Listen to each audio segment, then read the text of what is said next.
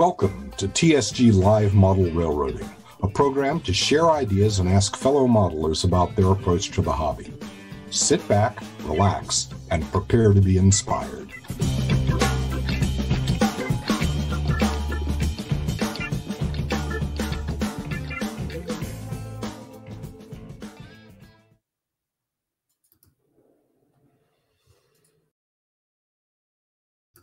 Okay, everybody. Like the guy said, prepare to be inspired. Hello, welcome. This is the first episode of TSG Multimedia's Model Railroading Live or Live Model Railroading. In this program, we're going to showcase the work of model railroaders and hear how they approached their various projects. You know, what kind of considerations had to be made, what were the obstacles, how were they overcome, to produce the desired results, you know, that kind of thing. Our first guest model railroader, who will be on here in a minute, is Rob Spangler from Utah. And I have some photos here that I'm sharing from his layout. I first met Rob in 2019 and got to see this uh, amazing Western Pacific 8th subdivision layout in person. And the layout, as well as Rob's modeling, have been featured in all the major model railroading magazines. And Rob has also given clinics at model railroading events. As a matter of fact, I sat in on one of his clinics that was about painting backdrops at the National Model Railroad Association's national clinic or national uh, convention in 2019. That was in Salt Lake City. And so, with that, uh, let's bring Rob in and uh, we'll get started. Good morning, Rob. Morning, John. How you doing, man? Pretty good. Excellent. So, what would you like to talk about? I mean, I know the answer to the question, but let's let's tell everybody what you'd like to talk about today. Well, sure. Um, my idea for our show today was uh, discussing building a signature structure for your railroad, and uh, to share some ideas on modeling from photographs, um, using the internet to fill in some gaps in your information, your knowledge, and uh, on how to create something out of uh, stuff you might just have sitting around the train room. Right. So we kind of got started on this during the layout design panel discussion a couple of weeks ago, where you were talking about signature industries, mm-hmm. but we didn't really have time to go into much depth on that discussion. So this will, I guess, serve that purpose. And yep. uh, I, I got to say, uh, looking at the layout, and just being reminded by watching the pictures here a minute ago, you have quite a few signature uh, industries on your layout. So, which one are we going to talk about here today? Uh, the one that we're going to talk about is one that did not exist at the time those photos were taken. Uh, it's a large flour mill. Uh, oh, cool. One of the photos that you had at the beginning of that little slideshow showed a, a big Walthers grain elevator in the background. Okay. And I got tired of looking at that thing because I'd kit bashed it when uh, Walthers first came out with the ADM elevator kit, you know, a few decades ago, and it served its purpose. And I wanted to have something that was, you know, different. Uh, and last year I had a few weeks where I needed to do something for a COVID project, so I wouldn't go nuts in quarantine. So uh, I decided to use that opportunity to build a new industry to take its place. Excellent. Okay. One other thing that I've been thinking of this week as I've been kind of preparing for this show is your signature industries are large and I know that was part of the the whole idea behind right. it.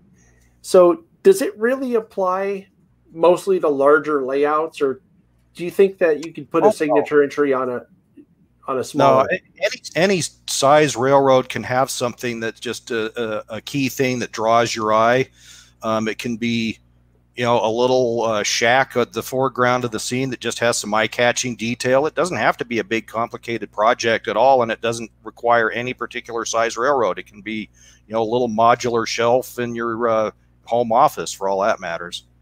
So really, signature scenes is what we're talking about, not sure. not particularly industries. Yours just happens to be an industry. Right. Mine just happens to be one big industry, but it can be, you know, whatever you choose to do on your railroad. Right. Okay, cool.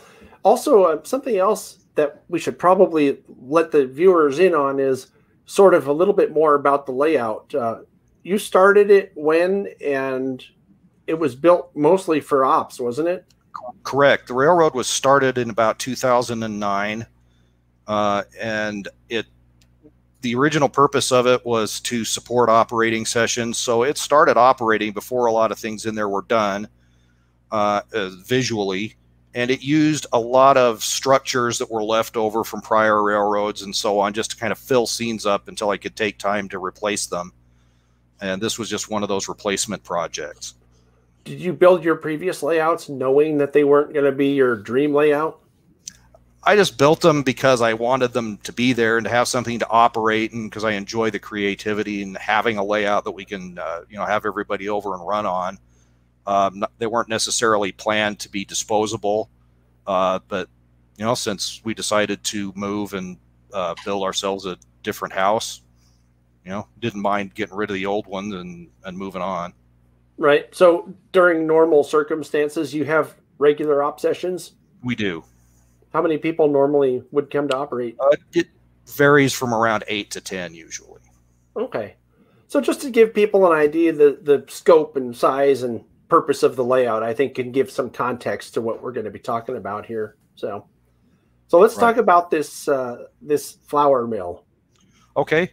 Uh, if you want to put up our screen to s- start looking at this thing, sure. got a prototype photograph of the structure that inspired me. This is in Ogden, Utah. It was built, I believe, in the 1920s as Sperry flour. Um, you can see that the portion of that that uh, is closest to the camera here, uh, that's the part that currently loads rail cars in front of that low one-story portion of the building. And then there's an elevator that receives grain and stuff in the background. There's track in between the two sets of buildings. And this is a very distinctive structure. Ever since it was built, it has had this uh, bright white color with uh, bands of uh, red brick. And you can see that as the darker shade in the black and white photo. But this is a very signature building in Ogden.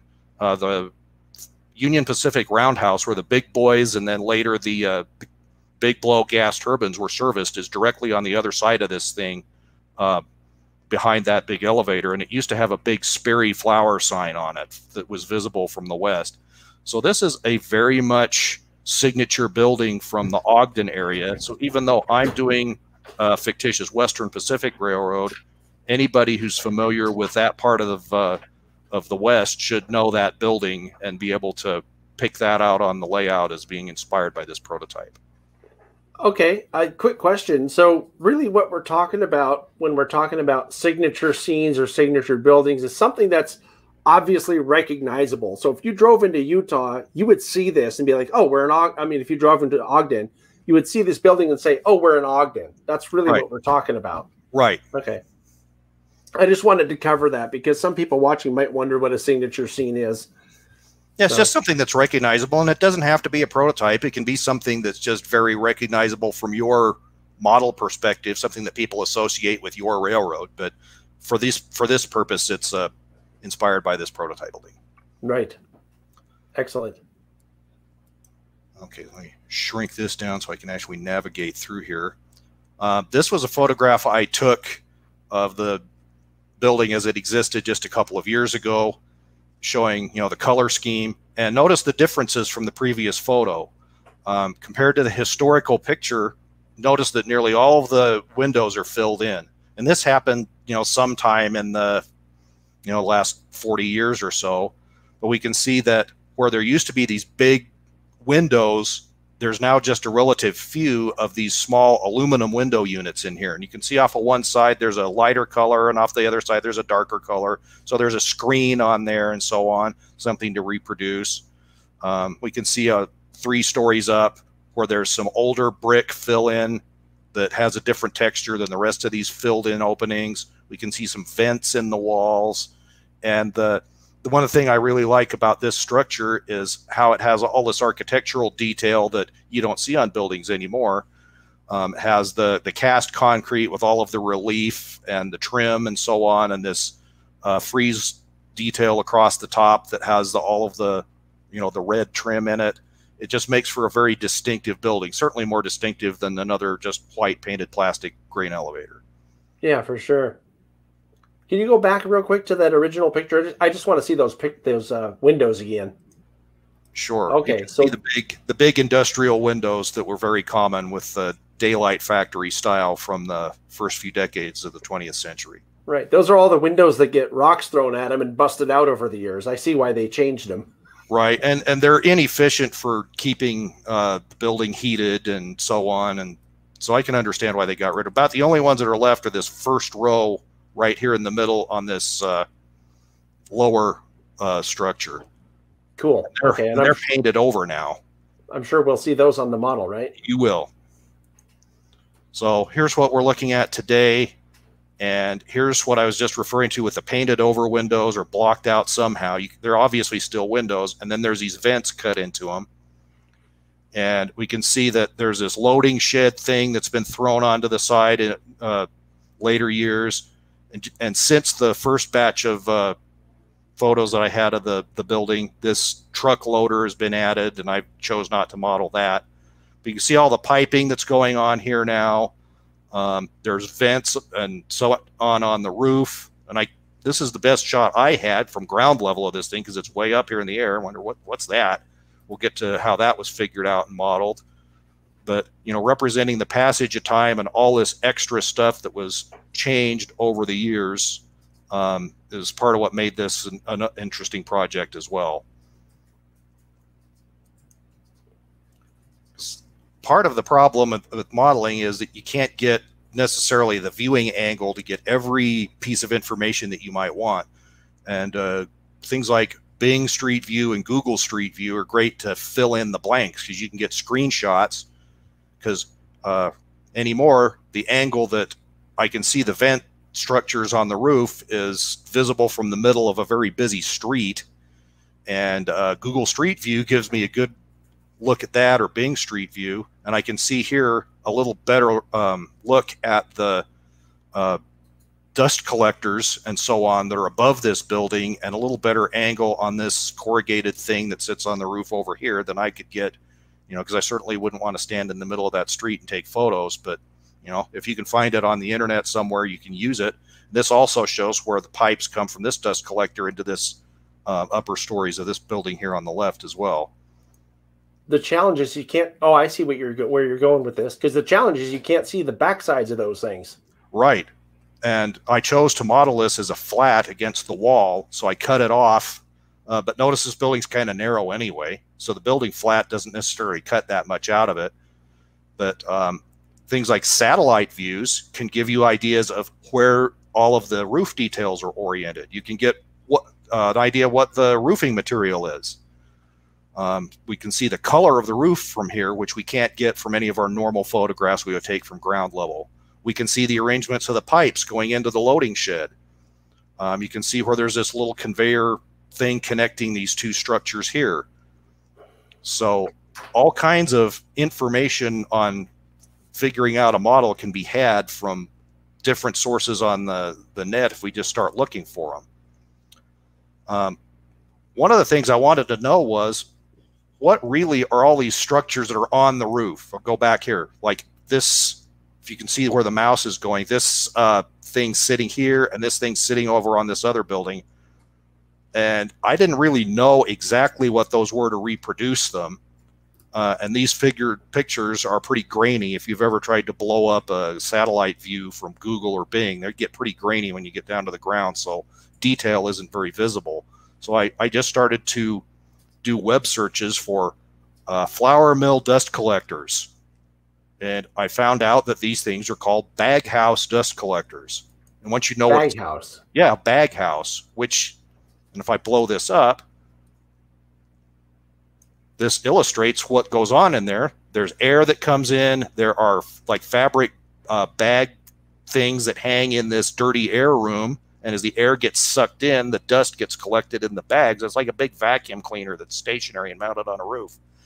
Um, so there's a blower unit that goes along with these things. You can see here is the dirty air inlet, the dirty air room, and then the clean air room. And we can see there's a safety cage, a ladder, and an access door well, this starts to fill in information that we can, I can kind of see if I go back to the other photos that the things on the roof of this building have um, this stuff on them. Oh, Alvin says in the comments that his dad worked for the company that owned that building. Hey, cool.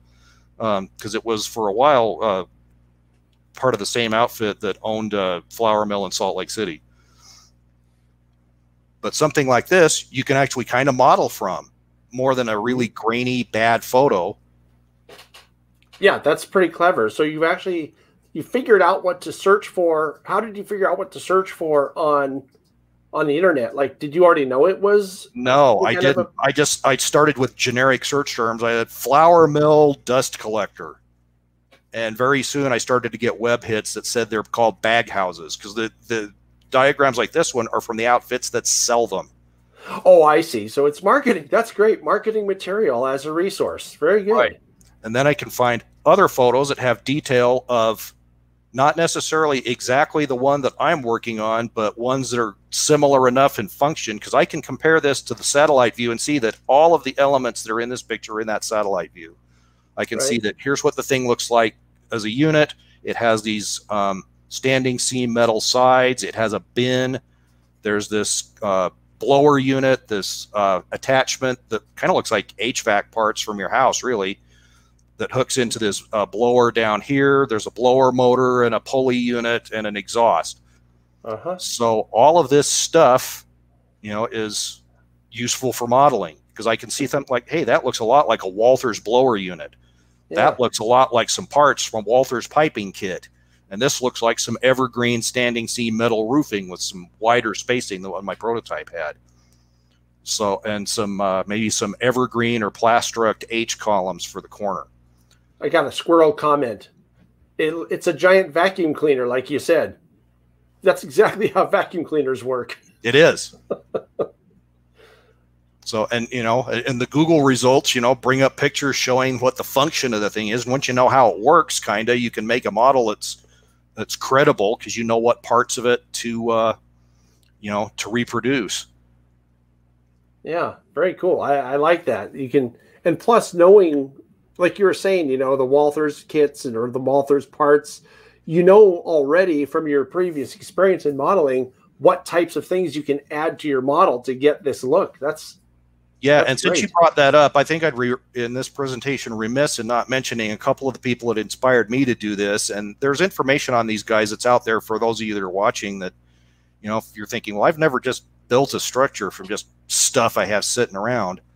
Um, Art Curran, who wrote the kit bashing articles uh, for Model Railroader for many, many years, and I think most, a lot of these articles have been collected into a book that uh, MR will sell you.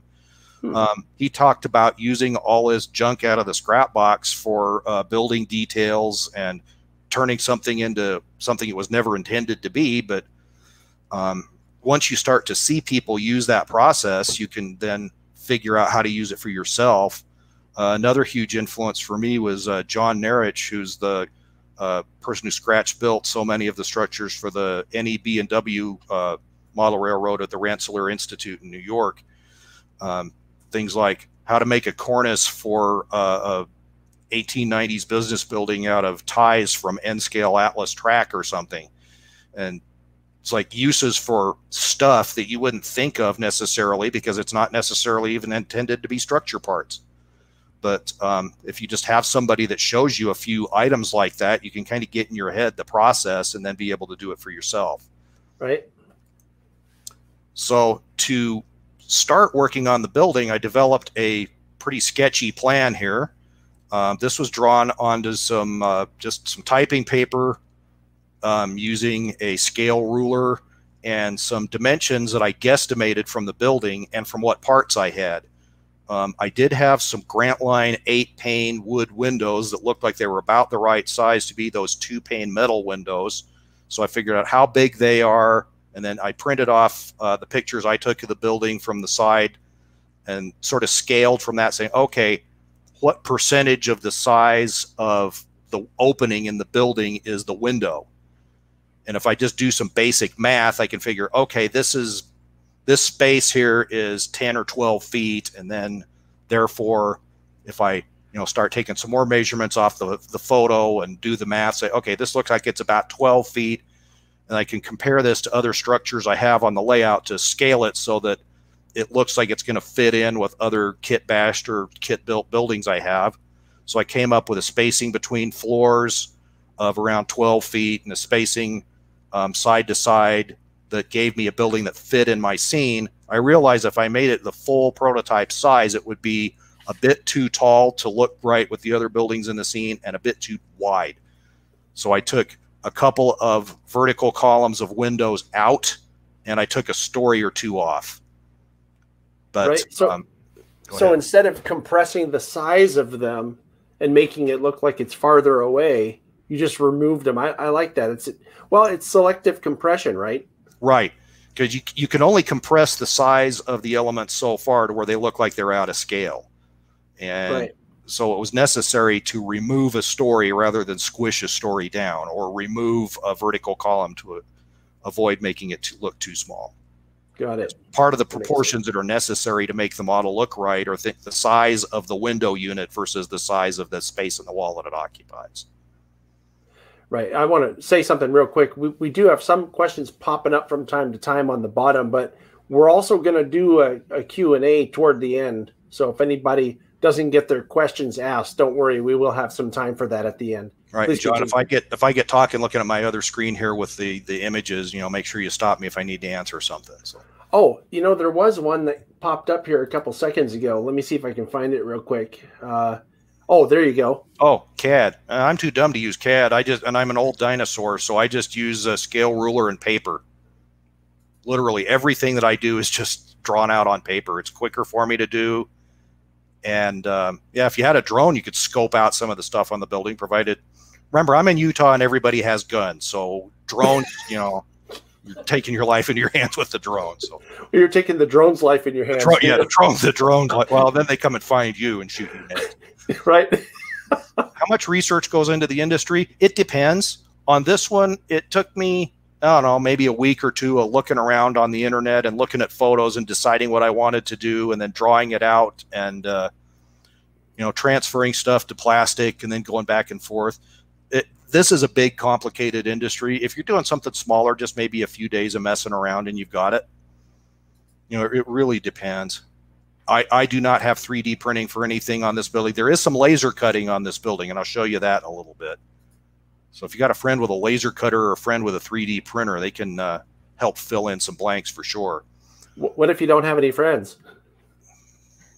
Then uh, then you need to buy that stuff yourself, John. So I'm just asking for a friend. Wait. Yeah, oh, right.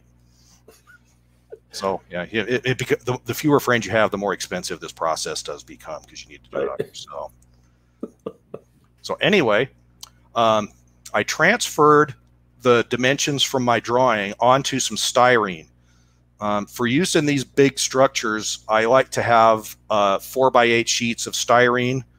Um, if you look in, uh, you know, your local white pages internet site for plastic suppliers, uh, most larger cities are going to have some place that sells plastics for people to build signs or commercial displays. And um, a sheet of 60 thousandths that's four by eight feet will set you back maybe 35 bucks. Um, similar price for a sheet of 30 thousandths. Um, getting really thin stuff like you get from Evergreen or Plastruct is a little harder, but as long as it's 30 thousandths and bigger, it seems to be pretty readily available. They can ship it to you uh, rolled up in a tube, or uh, in my case, I just drove over to the place and got it and rolled it up, put it in the back of my truck, and took it home. So the the wall of this building is bigger than what you can get like off of an evergreen sheet that you would buy at the hobby shop. Um, so that's why I like having the the big four by eight sheets to work with. I just put them on the floor of the train room and start marking things on them from there and cut them out. So this was sort of a proof of concept to see if, you know, once I had the dimensions on here, how did it look with the other buildings in the scene? Um, did it did it work well with the parts I had available? And you can see some different parts here. So here's a, a gray roll door that it's the right dimension side to side, but it's too tall. It's from uh, Great West Models kit that I have left over. Is it? Yes, this is HO scale. Thanks for the question. Um, I have a, a door from a micro engineering building here that I kit bashed into a double door. Uh, there's the horizontal grab bar like the prototype had on one side, and the transom up here that's another part of a micro engineering window. A Pikestuff door left over from a building here. So we got three kits worth of leftover stuff. Um, that I tried to dimension out and see if they would work on here. So once I tested it out, knew everything was going to start looking right, I could then start cutting out the openings and and working from there. So this is that very same piece of plastic with the door and window openings cut out of it. Um, and you can see I'm starting to build up laminations here. You know, the prototype structure has all of this concrete architectural detail that was cast in place. And so I've got some 30 thousand styrene. The reason why some of this is a little discolored is this this sheet of uh, 4 by 8 styrene I've had for 30 something years and it's discolored a little bit because of where it was stored for a while. So, you know, it's cost effective to buy this stuff because you have decades of modeling that you can get out of it. Yeah, I was going to say that. I, I think that's a really great tip for anybody that wants to do this stuff on a budget. I didn't even know that uh, you could buy plastic in four by eight sheets like that. It's like it's plywood. cheaper. Yeah, that's a and plus you get the size you want in case you know Evergreen doesn't make that size. I think it's a, a really good tip. Yeah, and then the the little stuff here is evergreen strip because it's it's easier to work with you know little narrow pieces that are already pre-cut. Right. So, I left space in here for the uh, the brick inserts that would come later. And since this is uh, being modeled in a more of a modern day configuration where everything is just blocked in, um, you know, things like a window opening may only appear in this this lamination, and then the sixty thousandths that's behind it. Um, just stays there to represent the area that's been blocked in on that window. So as we keep going, um, more things like 30 by 100 styrene goes here. Uh, additional laminations of the the big sheet. You can see the cut the the sort of yellowish colored stuff is the big sheet that I was cutting it out of, and the white stuff is evergreen. And we can see here now that since all of these are just going to get painted white because the whole building's one color anyway, I started to get these pieces glued in. Um, I mentioned earlier there were the areas that were bricked in that had a little different texture. It looked like they were bricked earlier than some of the, the later fill in that was concrete block. I had some brick sheet that had been sitting around that I used here. You can use, you know, the old Holgate and Reynolds, or you if Walthers or Design Preservation or whatever you have. So those have been laminated on and I just keep adding layers until I have the uh, the effect of the prototype from the photos. Food tools and methods, thanks, Blaine. Um, my main cutting tool for this is a Stanley utility knife, like you'd use to cut sheetrock. A big knife. I use I rarely use a small exacto knife for any of this. And for cutting big pieces, I have a uh, a four foot long aluminum T square that's designed for cutting sheetrock. So I throw that onto the edge of my uh, big piece of styrene, I've got something to run my utility knife on and make the cuts. And then I just scribe and break. Um, some of these things, like the little openings here, I might drill holes in the corners and then snap and break these out. But uh, the majority of it is just scribe and break with a big straight edge and a utility blade. Are you uh, gluing with CA or are you using some kind of a liquid plastic? No, cement? all of this is glued together with uh, MEK from a, oh. a, gallon can that I got at Sherwin Williams. And since I got that gallon can, MEKs, depending on what state you're in, is a lot harder to get than what it used to be. Um, so there are other glues that you can try, but solvents work the best, I think, for gluing big assemblies out of styrene. Uh, CA can get brittle uh, and you also have the problem that it can mar the surface. And when you're dealing with really huge pieces, it doesn't wick under all the way through like solvent cement does. Um, so it's, I think, preferable to use solvent if you if, if you can, you're not allergic to it or have a reaction to it. Um, so we can see on the bottom here around the the door, the the man door, how uh, that the fancy detail was built up um, here, that's just pieces of square and rectangular styrene that are piled up so that it, until it looks like the photo. And it, you know, without the uh, influence of those old articles by uh, John Nehrich and Art Curran, I probably wouldn't have thought to do that. But that's you know basically how in reverse how the prototype did it by building up their uh, forms to cast the thing out of concrete. And then up here, uh, you can see this is a material called polyback. It's a resin impregnated craft paper material. And this was cut out on the laser. I thought about how could I reproduce this frieze detail that the prototype had without it becoming really labor intensive? And I uh, discussed it with a friend who had a laser cutter, and he offered to cut it for me because um, all this is is just a, a, rectangle with a bunch of other little rectangles pasted into it on an Adobe Illustrator program.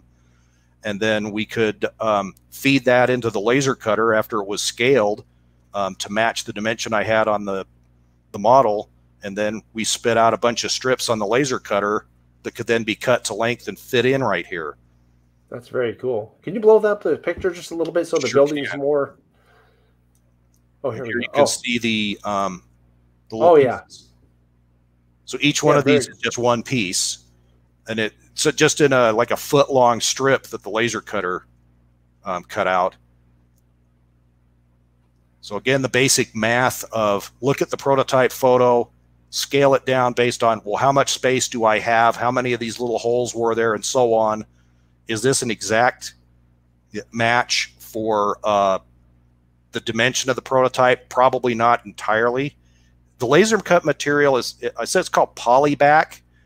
Um, it's it's literally like brown paper bag material that's been uh, impregnated with resin, and it this stuff is about a sixteenth of an inch thick.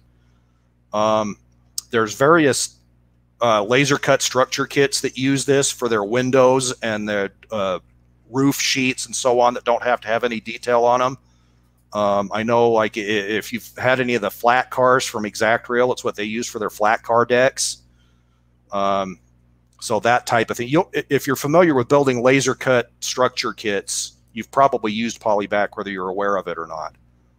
Yeah, I think I added the uh, the, the, ends of my what do you call those uh, bulkhead flat cars that right. were from Exactrail that had right. that material. And that's what yeah. that is. So, like yeah. a you mean like a Cricut.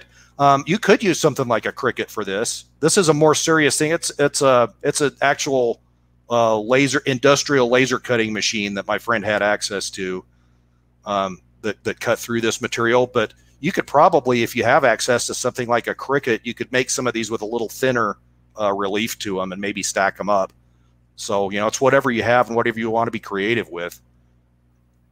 There's always 101 ways to, to do this stuff. Right. Yeah, there isn't a wrong way to do it as long as it comes out the way you want. I think that's a good comment. So here's what the building looked like with all that stuff now painted. Because remember, the prototype is pretty much just one color with the exception of the brick inserts and so on. And at this point, I've also glued in the windows. So I mentioned a while ago that these were Grandt Line eight pane wood windows. Um, so I had to cut all of the extra window muntins out with a knife carefully so I didn't, you know, break the one remaining one and then sanded the face of the window so that it was smooth so it looked like metal. And then, you know, with that process done, I could paint those things in aluminum color and glue them into place.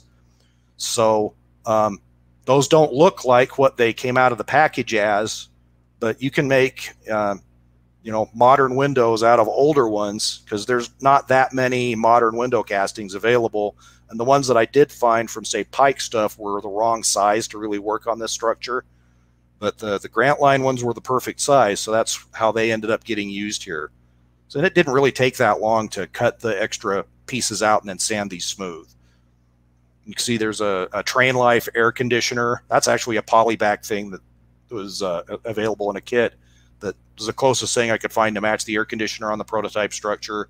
I've now painted this uh, door assembly aluminum, got it glued in, and so on. There's a little bit of tedious work going on there, but the results I think make it look, you know, it's worthwhile. Oh, sure. And there's no one step of this that's hard. It's just, you know, measure and cut a piece and, and use the solvent cement and attach it and then move on to the next piece. And if you have something like a Northwest Shortline chopper, you can make like all of these pieces at once, right? You can make all of the little horizontal pieces for this vertical area here all at one time on the chopper. Or all of these pieces are the same length. So they, they can all get fed through the chopper. So mm-hmm. the, the fabrication process doesn't necessarily take that long. And gluing them in is pretty easy. A little paintbrush and some MEK and it you know, gets everything stuck. But, you know, we've got something that's starting to look a lot more like a building, but it's not, you know all the way done. Certainly, we just need to understand that at various stages of the process, it won't look like the prototype we're working from yet. But I needed to start building things like my uh, roof details. So this is the baghouse unit from the top of the main structure that we saw both from ground level and from the satellite view. And so I used the images that I had, you know, found on my Google search and tried to compare them to what I had sitting in the scrap box. So okay, I've got some Walthers piping units that have some fittings that maybe they're a little oversized from what the prototype had, but you know, they're what I had. And I didn't feel like scratch building every little tiny fitting on this thing because it's it's not 100% reproduction anyway. So close enough. Um, so these are some pipes from Walthers piping kit. This is a Walthers blower unit from its blower and uh, ladder uh, detail set. One of the ladders and safety cages from that same set was utilized here. Um, I had some leftover railings from like a, a Heljan cement silo kit, so I cut those up and used them for this. There's some diamond tread walkway out of that same kit. Um, this is evergreen uh, standing seam metal roofing and some other evergreen styrene pieces. This little plenum here is some stacked up 60,000 styrene left over from the building walls. And then I filed that to shape and sanded it so it looked like this, um, this fitting here. These two little intakes are uh, detail parts from a Rix concrete highway overpass. These are the parts that support the underside of the railings on the on that kit. They look just about the right size for um, the intakes on this baghouse unit, so they, they fit perfectly here. And then some other pipes for the verticals. And then you can, don't really see it that well behind the wall, but the the legs on this thing are some uh, H columns from Evergreen. And all the photos of the prototype showed that for some reason, this side of the support structure was plated over. So this is just like a piece of plain 20,000 styrene glued to the side of it to cover that up. But if you look from the ends, you can still see the rest of the supports under there. And all this shape is visible from the satellite pictures.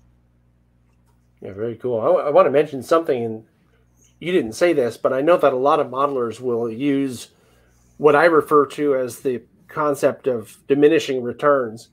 You could make that piping smooth if you really wanted to, but how much time do you want to spend on it? Right? Exactly, and that's that's the approach that I used on this. Is is anybody that knows the prototype going to know that that pipe union is not that big? Or is anybody going to care that this pipe shape is not 100% right? Because I didn't have piping that I could bend around that matched this exactly without going through a lot of extra work. And the rest of the building is what people are going to notice. And the fact that this is there is probably adequate. So eh, just make something that's more or less close enough to do its job. And once it's painted and weathered, the viewer is not going to pick out that that's that piece of the building is not 100%. Yeah, my, my guess is most of your operators will say, oh, there's the flour mill. Right. right? Yeah. Wait, wait, wait. You built that? Where'd the Walthers thing go? Uh, it was been gone for 10 years. Oh, oh, oh well. yeah, sprues are great. I've got some sprues for piping that were used on here as well.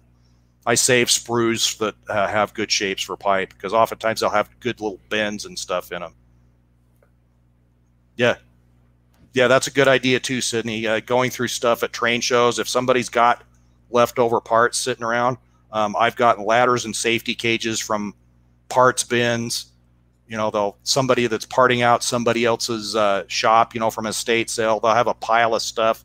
Like, take this box for a buck, and you know, maybe most of it you throw away, but you probably can get some good detail parts out of there if they've got something in, that uh, left over from kits that works for you.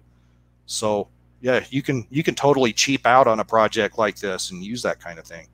Yeah, I think that's another great modeling on a budget tip. You know, train shows are good for something. Yep. Photo etch parts, K&S engineering pipe detail. I had these other parts and uh, I've used photo etched parts for other structures that are closer to the foreground. This is a background building that you're not going to be able to see that close. So for the you know the three foot viewing distance that this thing's going to be seen at, I didn't um, really think that adding the the extra uh, photo etched parts would work on it on it to make it worth go, going to the effort of do, of finding them when I didn't have them already. but they're great for uh, other buildings. And again, I've used those in ones that are closer to the foreground that you can see better. This thing is above viewer eye level for most people. Um, as high as the bench work is, I kind of have to crane my neck to look down and see all this stuff. So the fact that it's there is probably adequate, at least for my purposes. Of course, you know I'm a, I'm below average, so you know whatever. um, this is how the uh, the bag house unit looked once it's painted. It's not dull coated here yet. Um, here's the corrugated thing that sits on the roof over here. This is just some evergreen uh, corrugated metal siding. Uh, these horizontal vents in here, are some other evergreen like freight car siding. Um, and here you can see I've added the brake inserts. I uh, cut these out and then painted them en masse and then glued them all in afterwards. And these are a little bit different texture than these other uh, brick inserts from the, the previous you know, patch outs in the building. So now we're getting closer to something that looks more like what the prototype does. I always wanted this to be a background building. This is, you can see the space here where there's a track at the bottom if, yeah, once the comment disappears from the screen. So this was a few inch deep scene at the back of the uh, layout. So this needed to be a background building. It was always intended to be a flat. So yeah, if I did not have photos of both sides, I, I could have still imagineered the other side. There actually are plenty of prototype photographs of the back side of this thing if I wanted to do both sides. Um, but this one only needed to be a uh, narrow structure. Uh, what's it about? It's a flour mill. I don't know if that answered answered his. Oh, question. that was actually the guy's name. He was saying it looks fantastic. Oh, sorry. His, Thanks. His Phil. name is "What's it about?" with Phil Craig, right? That would be a great question. Now oh, that went right over the top. Sorry. So anyway, I've got this structure to the point where it's pretty well assembled. It's not weathered yet. I don't have all of the painting done, of the frieze detail. But now you I need to move on to this next one. I was going to say, even at that level of completion, it, it looks really great, you know? Yeah, it looks like so. something. You know, it's certainly better than having a blank space or a, an old uh, generic building at the back of your scene. Yeah. So here's the next building that goes over to the left we can see it doesn't have all of the architectural detail of this main building, even though I think they were built at about at the same time. Um, we can see the windows that I'm going to have to represent somehow, this loading shed, and I'm not representing this truck loader. There's another one of these bag house units over here. We can see a downspout scupper thing going on here from for drainage from the roof. So I've got to figure out how to build this thing and get all the pipes and so on together. So transferred the dimensions from this building over to this one because I could see that they were more or less the same. I didn't even have a diagram drawn up of this smaller building. I just knew what dimensions it had to be based on the drawing from the main one. And then once I uh, put it onto a piece of styrene and cut it out, I could see that yes, it is going to work on that. So I didn't have to draw up any further. And if you remember the very first photo from the beginning of the presentation, it, it showed the arrangement of windows and doors here that's now invisible. So that historic photo let me build this stuff so that you can then see it through the loading shed. And again, if don't you know. don't have a photo, you can guess.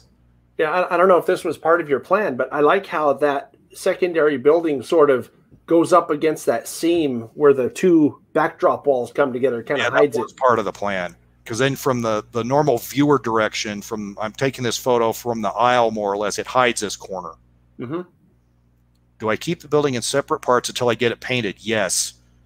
Um, because all these separate parts have different colors to them, and it's just easier to take something like the bag house and build it and finish it separately and then glue it to the structure at the very end. I think probably at this stage of construction, before it's weathered, they were just sitting here loose. So good question. So assembly of that thing progresses. Here's the other baghouse unit to show how it was built, a little closer view.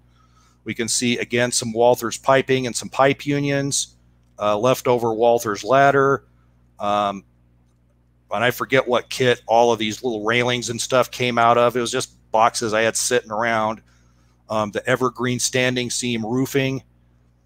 Um, extra little pieces of styrene for the separation between the clean air and dirty air parts of the baghouse since this is not that visible close up uh, for the door, I just used a plain piece of styrene. Uh, the prototype photos show that these doors don't have a whole lot of detail on them anyway. Um, I could tell from photos that this part of the unit had round legs on it with some finer um, bracing than the other baghouse did. So I used some leftover Walthers pipe pieces for this. And you can see there's a little access door here. That's just a plain piece of styrene thrown onto the side of this. And then for, you know, bracing for the ladders, you know, plain piece of styrene from, you know, just having a, a box of different sizes of styrene that you can then pick from is great for this. Um, you know, it's just worth it to stock up on pieces of various sizes because then, you know, compare to a photo and figure out what's closest and go from there. So again, once that thing gets painted, you know, it looks like maybe a kit part that's supposed to be that way. You know, it doesn't show that it's just a whole bunch of different unrelated pieces attached together. We can see the downspout here. Um, this scupper is just a uh, piece of rectangular styrene that I filed down into the trapezoidal shape that the prototype had. Put a little thinner piece of styrene on the top to represent the cap on it uh, like 40,000 square styrene with some more 40,000 square brackets for the downspout because it uh, the prototype spaced it out in front of this um, horizontal ledge here that separates the different stories of the building. Over here on the right, the windows, I couldn't find the windows that are exact match. Um, I found that some Grandt Line roundhouse windows, if I kit bashed them and glued them together were fairly close in size. And then I could cut out um, a rectangular opening into them for these uh, vents that the prototype has.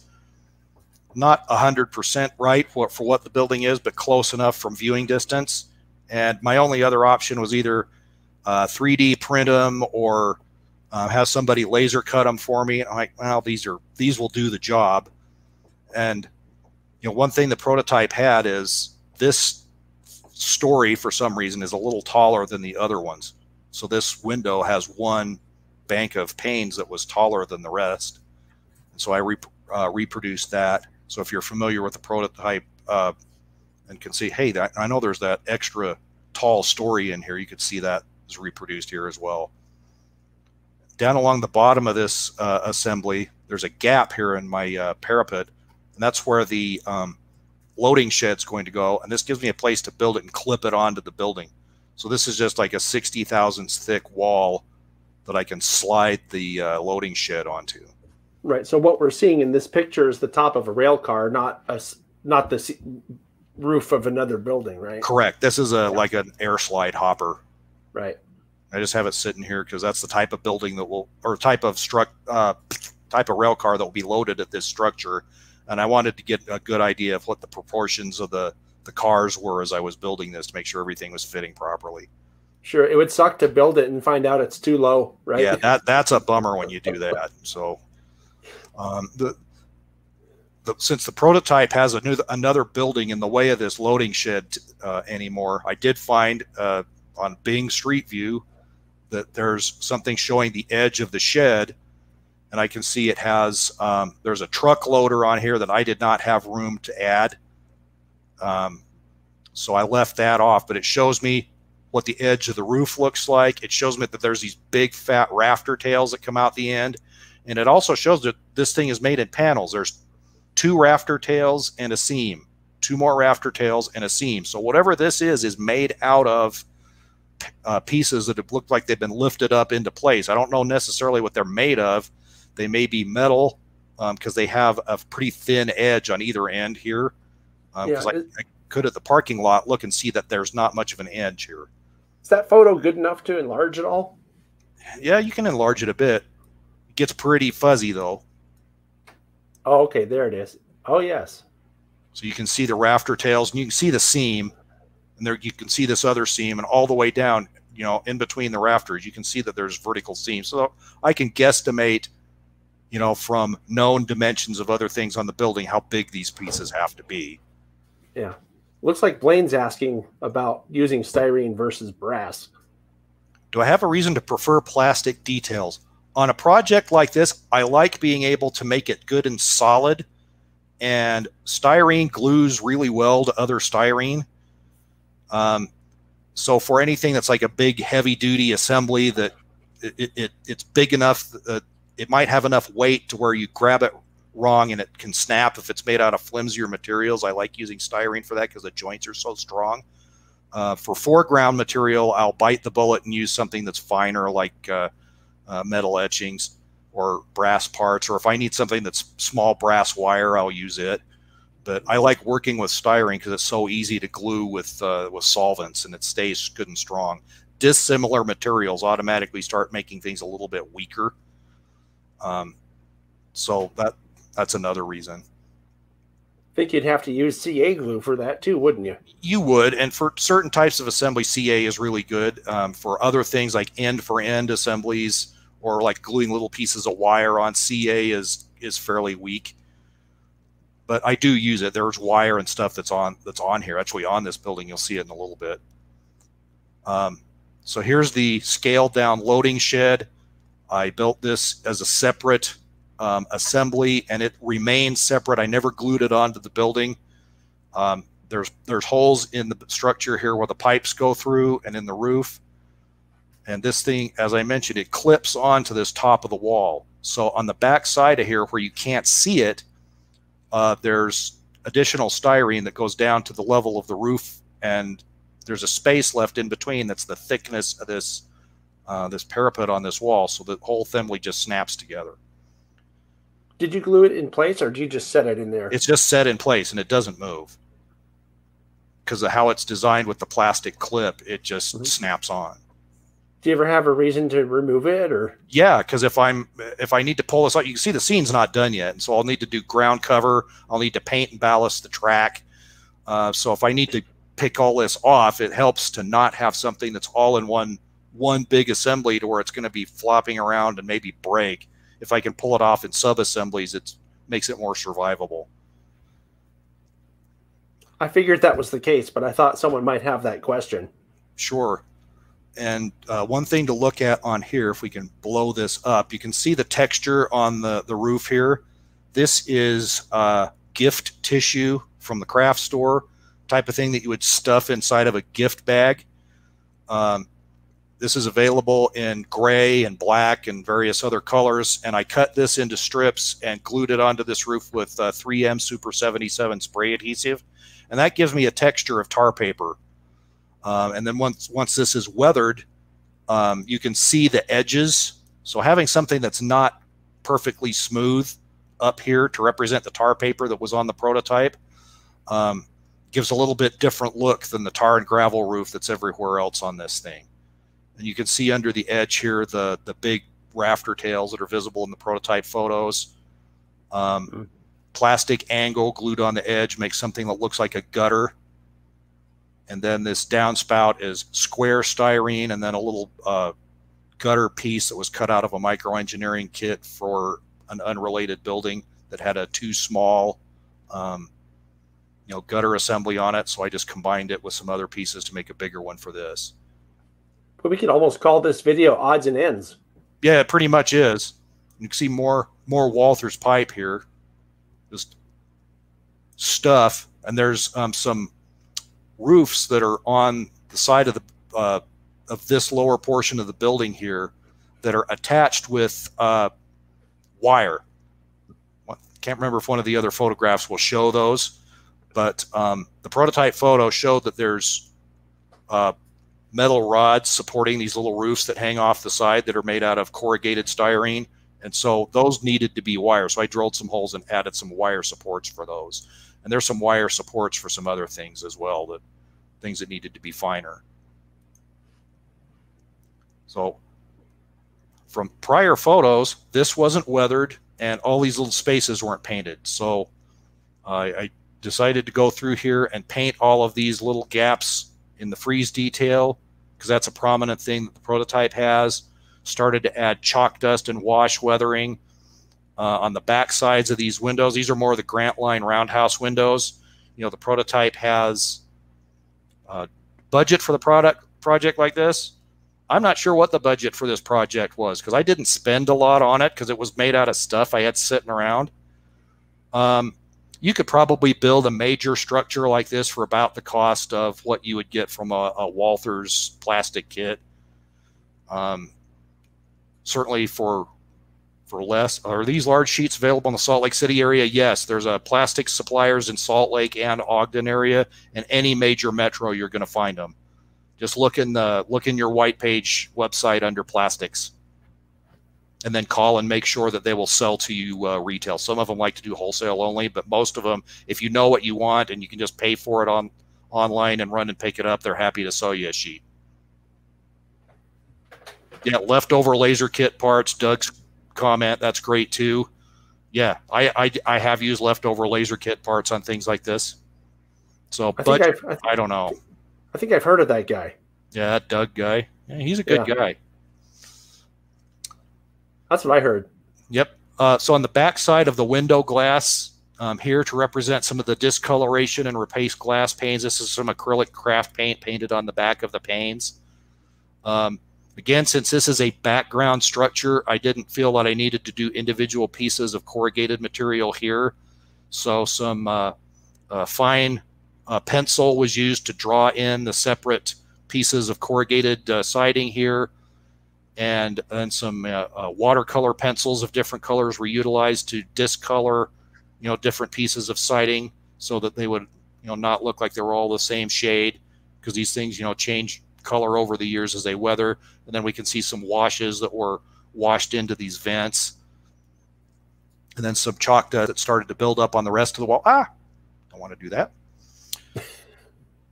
Um, we can see some vents that I added here. These are from Blair Line, some of their laser cut uh, wood vent material that looked very close to what the prototype vents were with some uh, chalk dust weathering on them. You know, here I don't have the glass in uh, behind these metal windows yet. This is what it looks like with the glass added. If uh, you recall from the beginning, I discussed that there was some screen on one side of these metal units where uh, you could see different color on either side.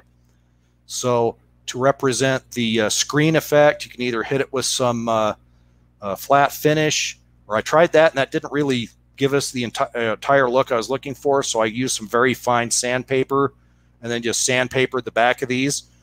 You know, on the prototype, since there's flour dust inside the building and grain dust, I think the um, the windows get that stuff sticking to the screens, which makes the screens show up rather prominently. So the, the sanding of the backside of one half of each one of these gives the look of that that dirt that collects on the screens. Uh, you can see some weathering here on the air conditioner from some chalk dust, um, some washes that went into the brick here to show the brick um, detail. Represent like there's mortar accumulated over the year. Yeah, so there's mortar and so on that has been filled up. These are all painted over, and then there's mortar from the, this uh, this brick. So you know, just keep adding uh, based on the prototype photos. One of the things I noticed, is, and you can see it a little more if I blow this up, is that underneath the corners of all these metal windows, there are streaks on the prototype from where the the metal is oxidizing and the oxide is running down the paint on the face of the building. And this is just drawn on with some watercolor pencils, some uh, light grayish color to simulate that. Because every one of these windows I saw in the prototype had this streak at the corner where the water runs down and carries the uh, oxidized aluminum down. This little vent here is a piece of uh, the vent from the Walthers uh, blower duct. The blower that I used on the roof for the um, uh, the bag house unit had this square ducting, so I just cut a piece of that off at an angle and used that for this vent. Um, the steps here are built up from uh, 60 thousandths and 80 thousandths uh, styrene just uh, piled on top of each other, and the edges sanded smooth. This railing is from a uh, Pikestuff metal warehouse kit. I realized that was very close to the railing that was on the prototype, so I used that here. Um, there's another railing here in the middle of these uh, these buildings. Oh, you can Yeah. see the roof there too. Yeah, and here's the roofs with the wire uh, supports on them. I don't remember what kit this came out. I think this was a Great West Models um, kit.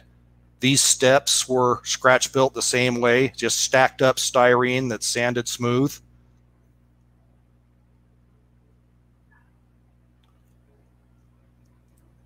But all you know, all the little odds and ends that went into the building, you here you can see them, you know, it's kind of piled up.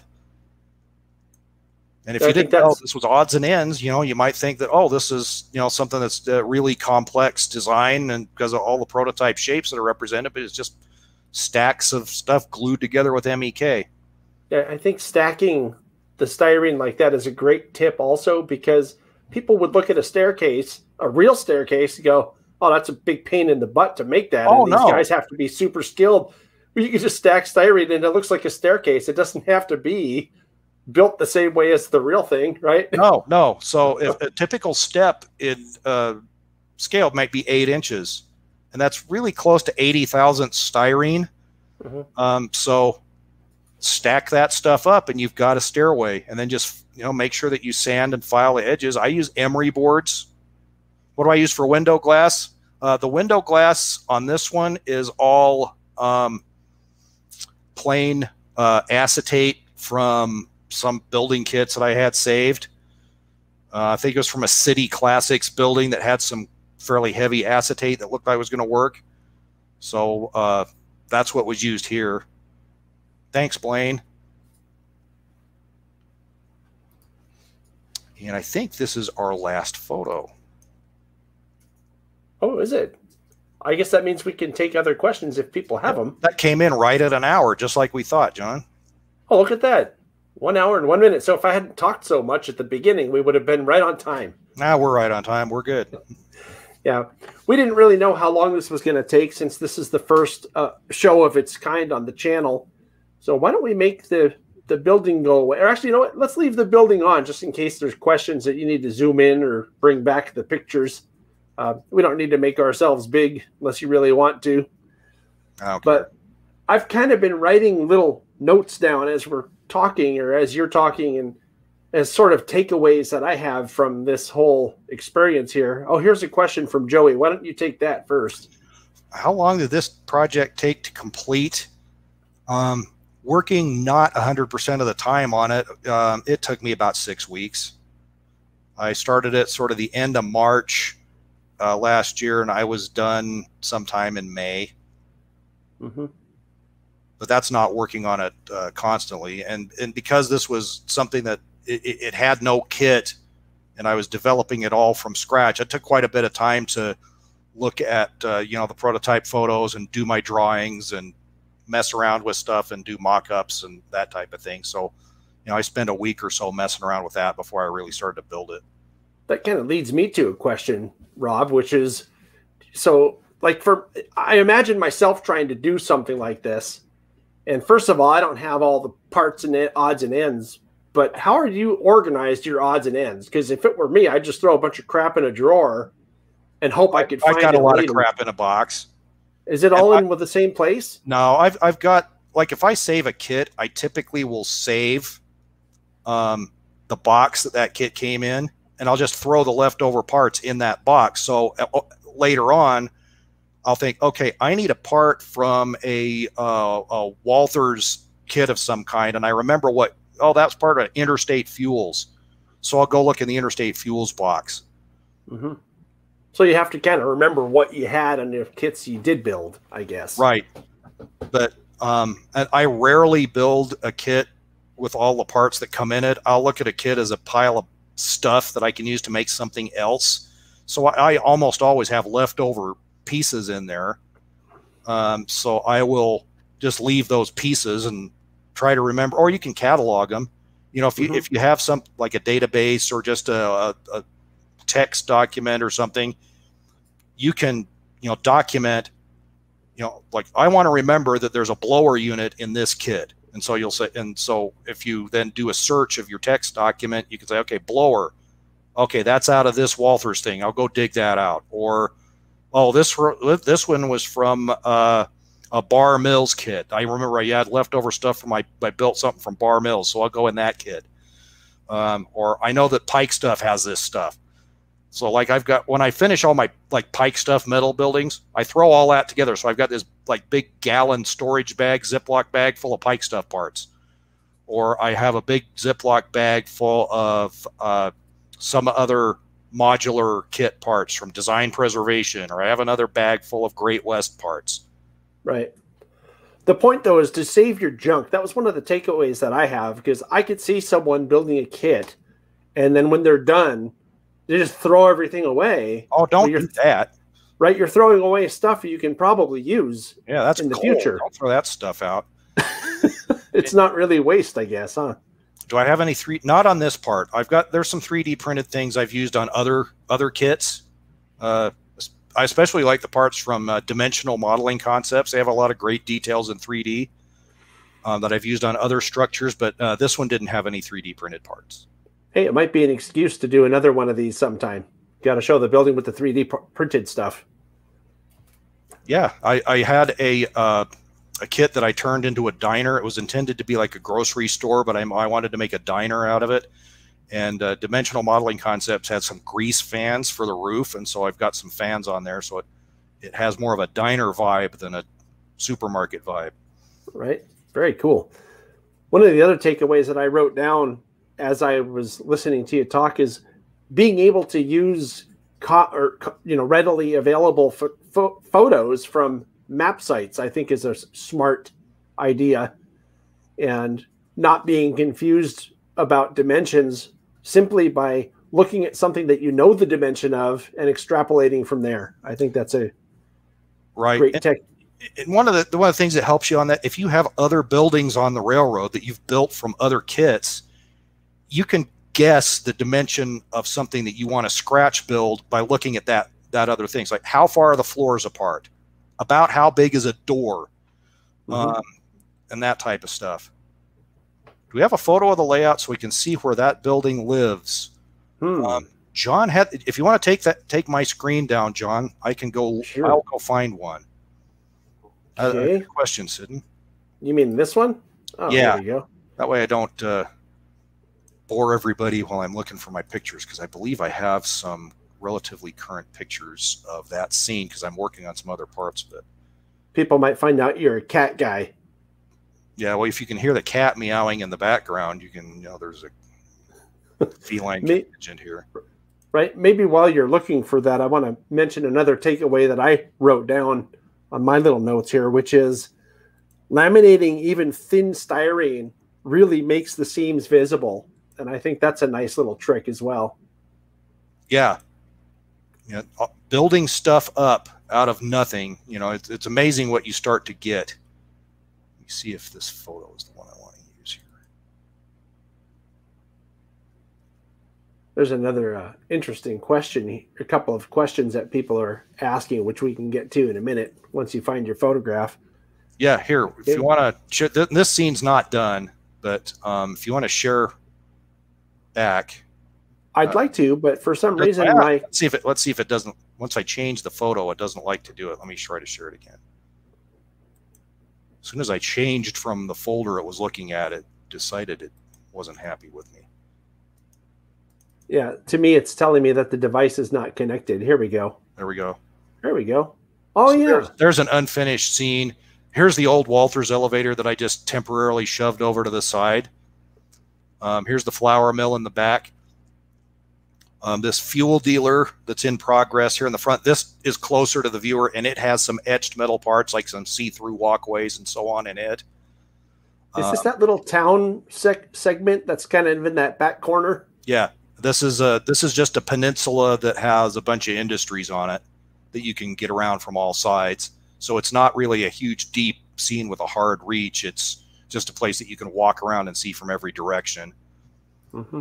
But you know, there's various structures in here that utilize the same general concept as that flour mill to create them, like this fuel dealer, bunch of parts from several different kits from Walthers, an old um, Alexander or Williams Brothers kit for some of these pipes, um, piping kit pieces, uh, railings from Central Valley, um, other Central Valley railings visible on this other structure in the foreground, sidewalks from Walthers, parking lots made out of styrene sheet, um, design preservation pieces or some you know wire details and stuff on some of these closer buildings that are finer.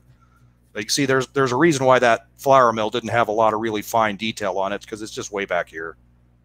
You can Yeah, see you it know- closer from another viewing angle, but that's typical. Yeah, if I if I remember right, there was a little walkway just around the corner to the right there where you could get in there to service the industry, right? right, yeah. There's a there's an easily reachable aisleway over here where you can get you know much closer to that structure. I remember liking that little city scene a lot. I re- seem to recall there were some parking spaces, and they even had those little bumpers that you have in a, a parking lot. That was really cool. Yeah, those are from. Um, you can get those. I think Walthers has those, and BLMA had them. Did I take a trip to this factory location? Yes. Um, it's actually on my way to work, so I was able to drive by it. Did you have any flashbacks of going to work, making the model? No, no. Tried tried to tried hard to avoid that. I, I don't hate my work, so that's okay. That I helps. can take this away, I can I can get uh, uh, another couple of photos from this city that where you can see some of the things that we've been talking about here. Sure. Why don't we uh, do that? And you can fish. Uh, in the meantime, Joey had a question. If thought I saw it a second ago. Would you ever consider using photographs as details on a structure? Yes, Oh, I I've done see. so. Yeah, I see what he what he's saying. Yeah. Yeah. I think some people use photos as interiors for for places too, don't they? They do. Um, photos for interiors are great. This next this next structure I'm going to show you does have some photos used on it.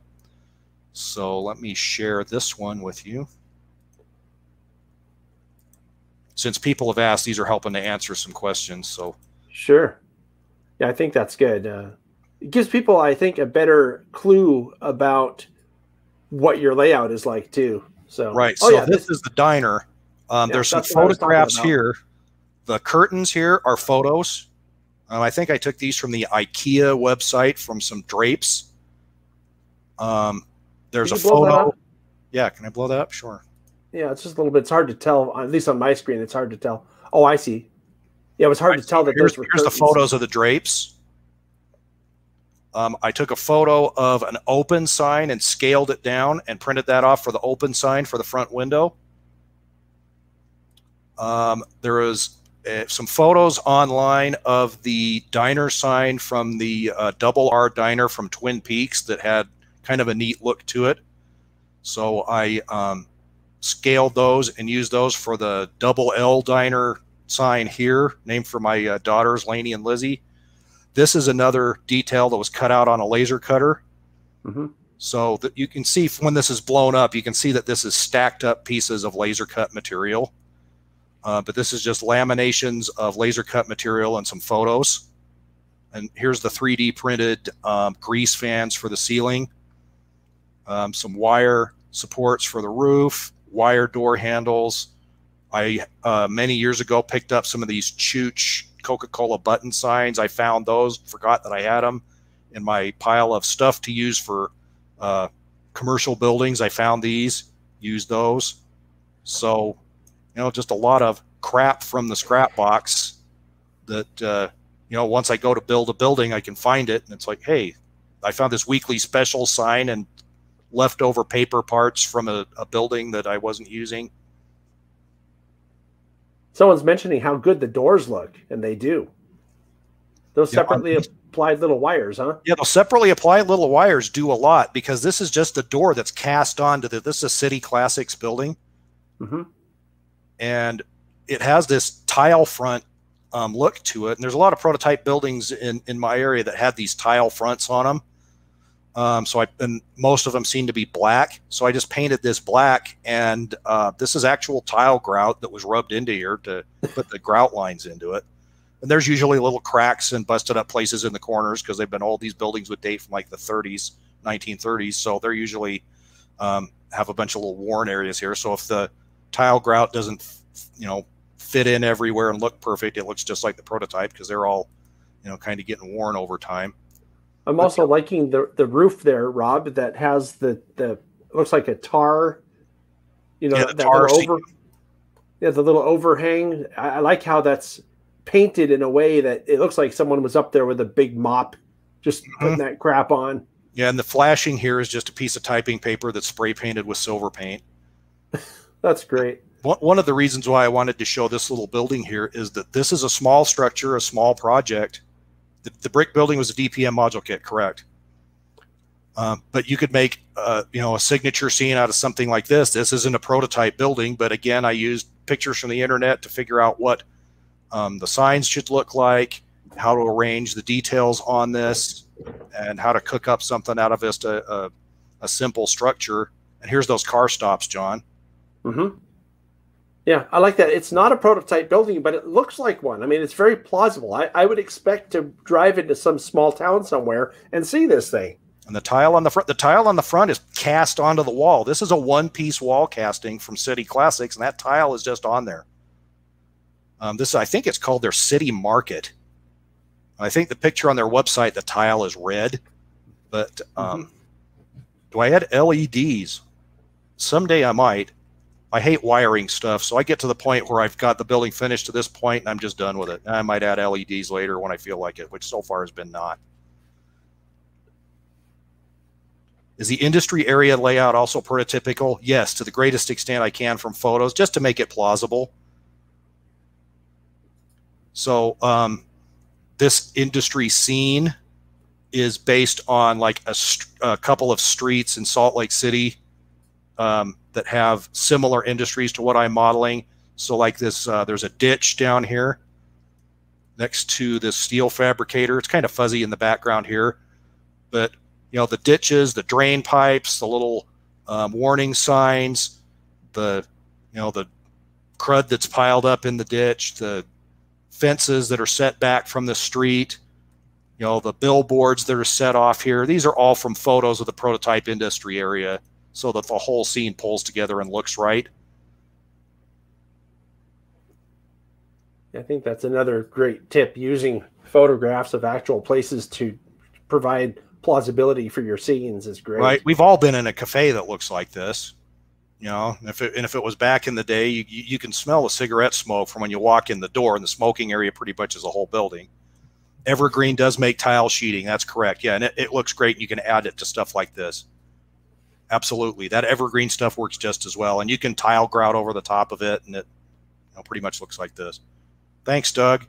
Yeah, this was one of my favorite little buildings that I did. Uh, my preferred method for making uh, roads and parking lots is tile grout. All of the uh, roads in these scenes that you've seen here, this is sanded grout. Hmm. And you can paint it.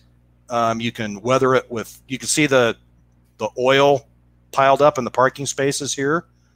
And that's just from uh, chalk dust and uh, you can draw on the uh, cracks in the road using a fine paintbrush or I, I try to develop a crack pattern like with a pencil and then I'll paintbrush them on for tar patches. Um, you can draw on uh, things like the uh, lane markings and parking lot markings with a watercolor pencil. That's a great tip. Just use a ruler or some kind of straight edge and draw it on there. Right, because it, it's easier to do that than to try to get paint to come out exactly right. And when Yeah, I do I- paint any of this, I use washes rather than just straight paint. Right. I- I've seen people do roads and sidewalks where I think they're using decals or something where they put the lines on. It's like, I've never seen a road like that. Those lines are always messed up somewhere or missing spots, or there's a skid mark over, you know, where someone peeled out on it or something. right So- right that, that- and and you know drawing it on is is the great way to do that and this Yeah. sidewalk is just sidewalk parts from walthers Is it just odds and ends or yeah do just they have their from their concrete street kit and that's like where the storm drain came from is out of the walthers kit and then i would Yeah. you know put some cracks in here like with a a, a knife or something Mhm. so yeah these are Nice these are pretty easy to to mess around with and turn into urban sidewalks and um, either some plain styrene because they don't have a gutter that's part of theirs that's integral to their thing i either cut the gutter out of the concrete street because I'm not using their street because it's too narrow. You know, Utah streets tend to be really wide. Mm-hmm. Um, so I either use styrene or cut the gutter off of the edge of the, the Walther Street and glued it on here. Then that becomes the screed for um, putting the grout on here. So I can use like my metal straight edge uh, drywall knife or whatever as I'm moving the grout around and screed it off against this gutter that's just styrene. Yeah, lots of good ideas. Well, that's what this was supposed to be. Good ideas. Yeah, as long as people still have questions and I got photos to answer them, I'm glad to stick around for a bit if people, you know, want some ideas. Yeah, throw your questions up, guys. This is uh it's great. I, I mean, I don't have any intention right now of building this kind of stuff, but I could certainly go back and watch this and get all kinds of inspiration from it. So thanks for sharing. Oh, hey, you're welcome. Because you know, I, it's just passing it forward. I got all that inspiration from those other modelers and the magazines and such, and it feels great to be able to share that with people and maybe, you know, give somebody a spark to create a project for their layout, make something that's not like what comes out of the box. Yeah, that's awesome. That's kind of what I'm trying to do here. I'm glad you get it. a picture of the layout room.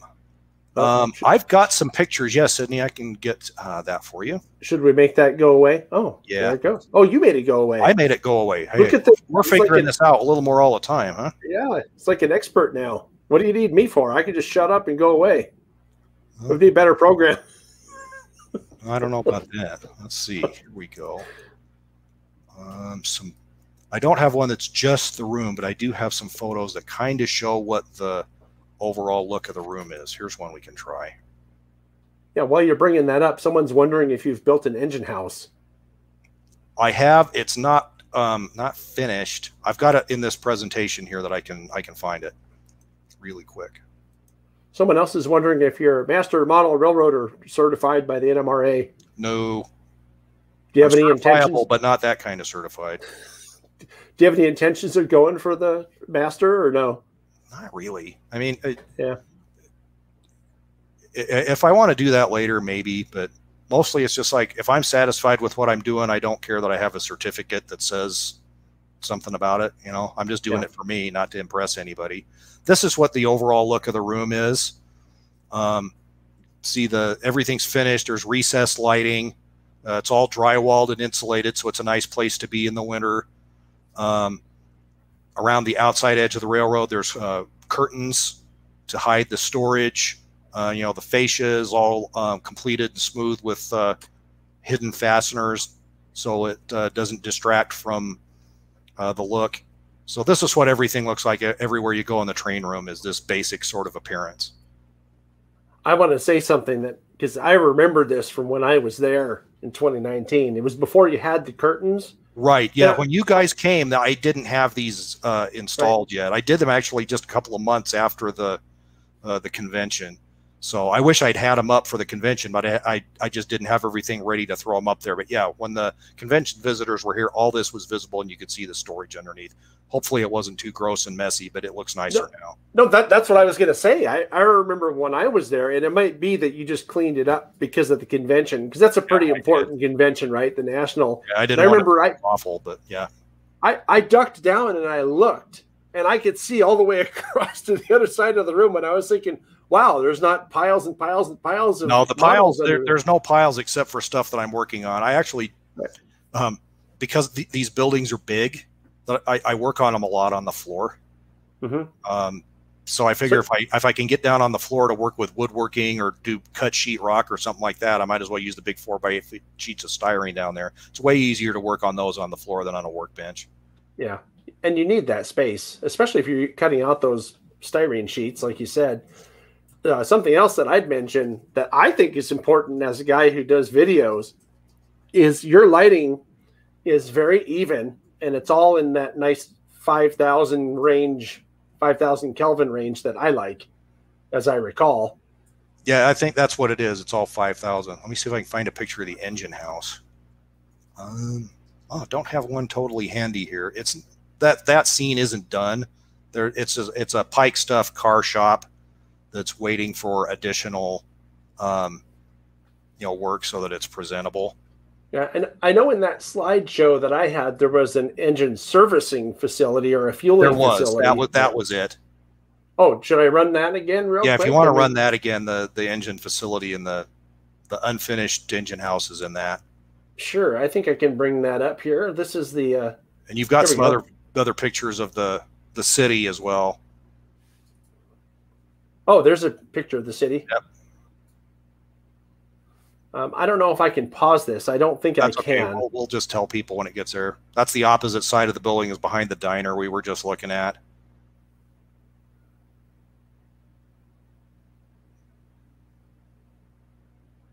Yeah, these were photos that I took when I was there. Yeah, but you know, every one of these buildings is pretty much the same idea as the ones we've been talking about. You know, piles of stuff.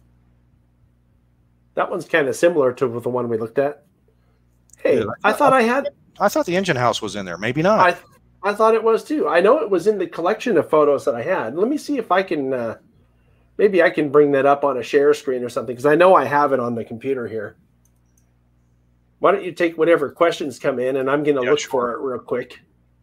a more in-depth video of backdrop painting I did on Toyman TV. I don't.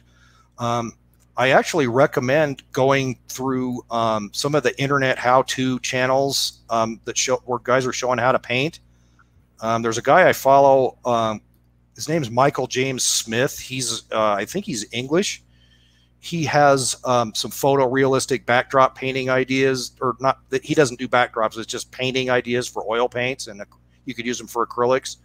Um, but there's a number of guys on YouTube that has some really nice videos showing how to paint, and I'd recommend those because those are they're they're ideas that aren't specific to model railroading. So there is a ton of great information out there on how to paint and uh, and develop things like this. I'm not able to find the find that photo. Okay, I'm just kind of scrolling around, see if I can find one while you're while you're looking here. Yeah, it's on the other computer that the top secret producer's on right now. Otherwise, I would have brought it up. I, I thought I had it on this little portable drive that I brought over here, but it's not here. Yeah, it's. Yeah, it's sorry about most- That's okay. It's not the most exciting structure, and it, it's one that I may end up replacing anyway. So, um, you know, it just could be one of those projects that, like this this one we've just been doing, where at some point it just gets uh, gets taken out and turned into something better. Any water on the layout and bridges? Yes there are a number of different um, scenes on the layout that have have some water in them and see if i can quickly scroll into one of those because i just not that long ago redid a, a scene that has some water One of the things I remember also about the layout, while you're looking, I'll mention it, is that your use of space, you have some areas that are just long stretches of empty railroad, which really adds to the realism when you consider what it is you're trying to model there on the area west of Salt Lake City. Yeah i like empty so there's a lot of empty space here oh i know where my um, water scene stuff is Yeah. It seems like it would be a challenge to make open spaces like that plausible or you know interesting to look at. But you did a good job with that because I never thought when I was looking at it, oh, this is kind of boring. It's a long open space, you know. Oh, here we go. Yeah, they're one of the Oh. water scenes on the railroad. This is um, epoxy resin with some uh, Mod Podge gloss on the surface of it to represent the waves. Well, I'll tell you one thing, Rob, when eventually when we're able to travel safely again, I want to come back over there and do a, a full layout tour in 4K for the viewers because it's one of the better layouts I think I've ever seen.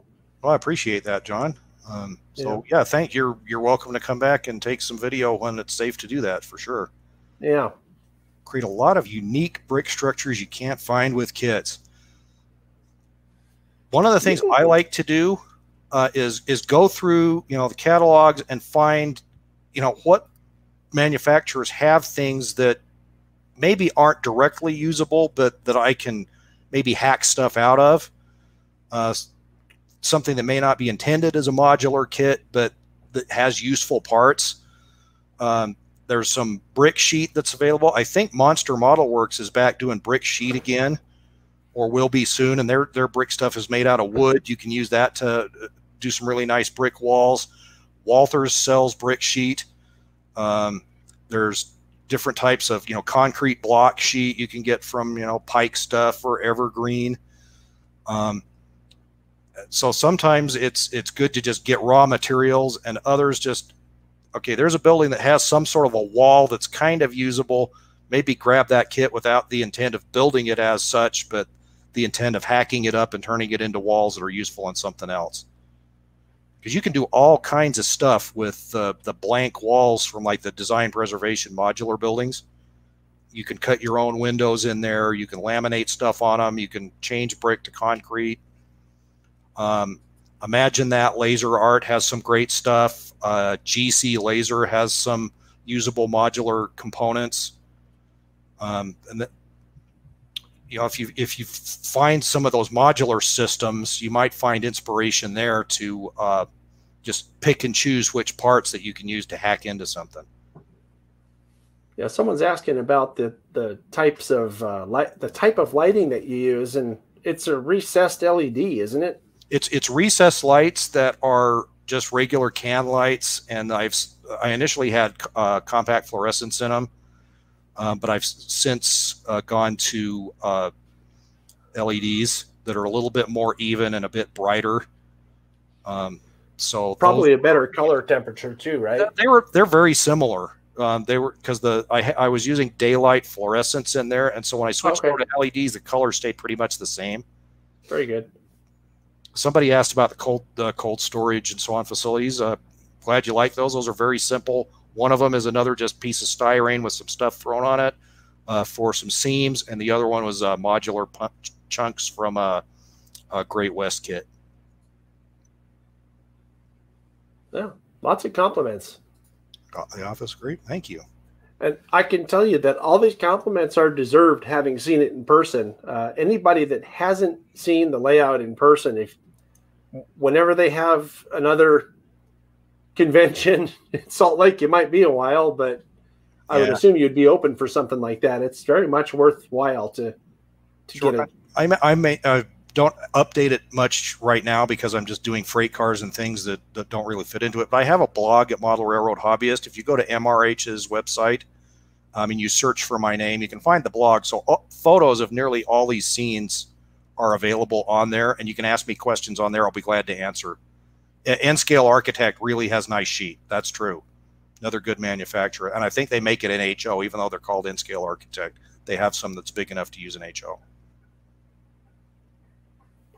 Also, one of the one of the complaints I've heard about the HO brick sheets is that they tend to be oversized bricks. Some of them are. Um, some of the old stuff from Holgate and Reynolds that was intended actually for like TT scale. Uh, or that's scaled smaller than HO anyway works great because it's um, it's a little undersized for what we're used to seeing, but it uh, it doesn't have that big in your face, too big brick look to it. Right. Yeah, excellent. Are there hobby shops? I don't know that Douglas is still around in our area. Um, train Life is here, and there's another uh, train uh, shop in Salt Lake is still here, and I both uh, use both of those. I try to do local business wherever I can before I go on the internet, so I'll order through the local shop. But yeah, I have those two local shops that I support. Yeah, one great draw to the. Oh, I'm I'm sorry, Rob. I didn't mean to cut you off. That's fine. I was going to say one great draw to Train Life is that they also have Pelle Søborg's Daneberg sub layout in their shop there. That's also worth looking at if you have right. a chance if you're and, in the area. And Pelle's articles that are collected into that uh, book that uh, MR put out, uh, they have that book in there as well. So you can, uh, you know, look at it for inspiration and buy the book and see how he does because he does a lot of this too. He's another great inspiration for all of us using just various stuff, throw it together to make a model. You know, it's funny. I, I, did an interview with him a while back here on the channel, and as I was talking to him, I, I thought, "Oh, I'm going to ask a really good question and get like the secret to great modeling, you know, some some revelation." So I asked him, so you know, you're you don't even live in the U.S. How do you make it look so so plausible, so accurate? And his answer was the simplest but very profound answer. He says, "I model what I see." I I thought it was going to be something, you know, some little secret that everybody model what you see is the answer to everything. I guess it is, right? I mean, I mean that that how, how, do I make my scene look plausible? Well, model it from a photo, and yeah. you can you can take photos of things that you're not intending to model yourself. Like if you take a photo of an industrial area that's just generic, you know your structures don't have to be what's in there, but you can see sidewalks. What does the pavement look like? Arrangements of dumpsters, fences, junk up on the sides of buildings. Translate that to your scene Mm-hmm. So, you know, the scene may not be of anything that you're modeling specifically, but it's full of things that you can look at and translate to your, your own work. Yeah, that's a great, great tip. And I've heard that from other people who are also very good modelers. They, they say, well, even if you're doing something that's not a prototype, like you're not, it's not the yard at XYZ place, but you can still take a picture from XYZ place and put some of that stuff, little piles of junk or stuff that's in a train yard. You know, the the wheel sets stacked up, you know, on a track someplace. All that right. stuff. I got a couple of photos I can share for stuff like that that uh, you know could you know help illustrate that for us. Sure. Uh, as soon as I see the thing, I'll yeah, pop those I'm, up. I'm working on it. Just takes a bunch of clicks to do the screen share on this thing. Okay, I see it popping up. Oh yeah, here we go. So this is from uh, the west side of Salt Lake City, you know, the old D&RGW Roper Yard. Uh, so this is a, an industry spur. So we can see here the arrangement of the chain link fences. You can see there's a big pile of gravel here to serve as a bumper at the end of the track. Um, you can see hoses and pipes running along the edge of the track here, and you can see where the, the fence is biffed out, where they fish the hose under here to hook to the tank cars on this structure next door. There's an air conditioning unit hanging off the wall. There's a vent hanging out of the wall there. Pallets. Uh, there's a pile of pallets. So it's like, okay, a uh, bunch of uh, laser cut wood or styrene pallets in a pile makes for a good detail. Yep. And we can see the difference between there's paved uh, access to the back of this building combined with dirt. And then how do the, the weeds and little bushes grow up along the fence line?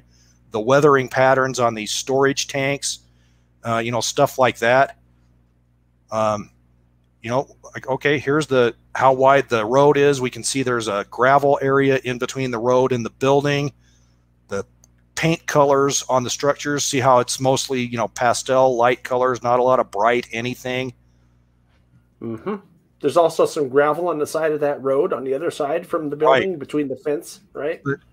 looking at this, you should be able to pick out from here what those scenes were I was showing you earlier on the railroad. The patterns in the sidewalks and the parking lots were developed from photos like this, even though I'm not modeling these specific buildings. So here, -huh. that shows us what brick color is typical in the area. This shows us, look at all these AC units on the roof and all of the vents.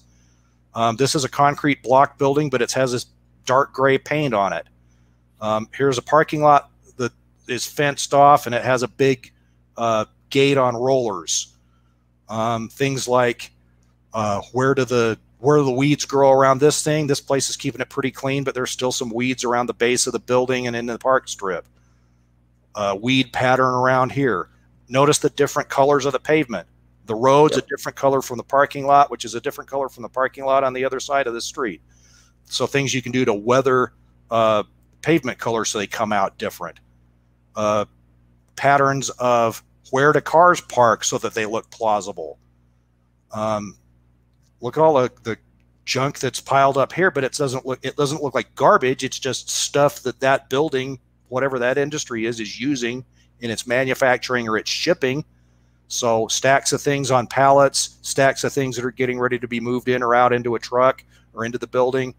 Uh, metal bracing hanging down from the structure to support an awning the various roof vents so that you can figure out how to um, pick out parts. Yeah, the power lines along the street and how are they arranged? How far apart are the poles? Um, where well, do the electrical wires go?